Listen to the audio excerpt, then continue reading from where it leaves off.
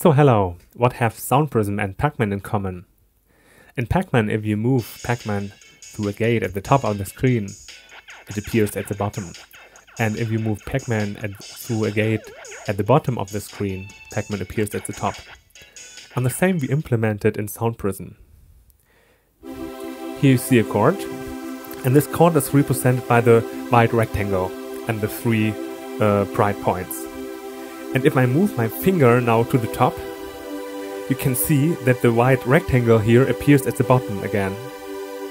And this shows that the upper end and the lower end of the pitch space you see here, that is the green area, is glued together. And why did we this? Because the most interesting chords, um, or one of the most interesting chords, are here at the point of intersection between upper and lower end. I will show some of these chords. For example, the diminished chord, it's here.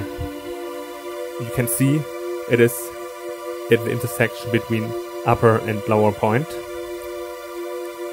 Or the dominant seventh chord. It's this chord here. Or the subdominantic uh, sixth chord. It's this here or the major subdominant sixth chord, it's this here.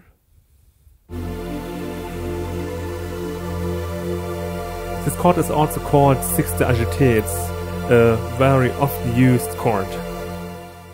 And with the help of these chords that are at the point of intersection between upper and lower end, you can create very interesting chord cadences. For example,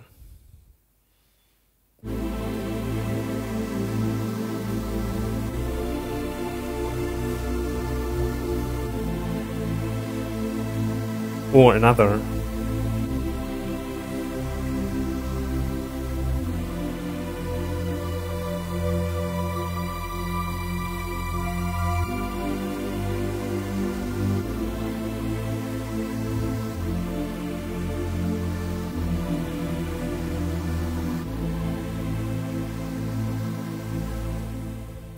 If you want to test these things, check out Sound Prism and try it for yourself. I think you will encounter many very interesting chord combinations and cadences. Thank you.